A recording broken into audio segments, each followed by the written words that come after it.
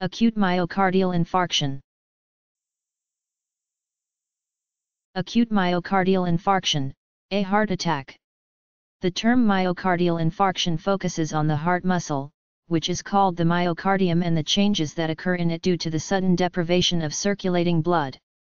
This is usually caused by arteriosclerosis with narrowing of the coronary arteries, the culminating event being a thrombosis, clot. The main change is death, necrosis, of myocardial tissue. The word infarction comes from the Latin infarcire meaning to plug up or cram.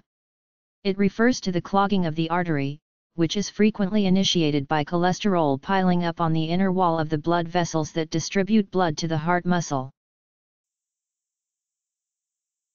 A C U T E M Y O C A R D I A L I N F A R C T I O N.